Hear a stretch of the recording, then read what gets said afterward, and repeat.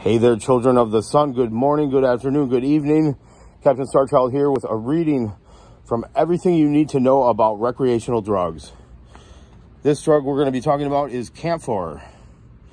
Real camphor has nothing to do with the moth flakes or mothballs mom has stored in the closet to protect her woolens. So if camphor experimentation is to be your game, be sure you don't confuse the two. As deadly as mothballs and moth flakes are to moths, so can they be to you. At one time, the eating of real camphor, Cinnamomum camphora, enjoyed some degree of popularity. Today, when it is used, camphor tincture or powdered camphor is mixed with grass and smoked in a joint or pipe. Ingestion of one gram of the stuff will produce a slight stimulating effect since camphor irritates nerve endings.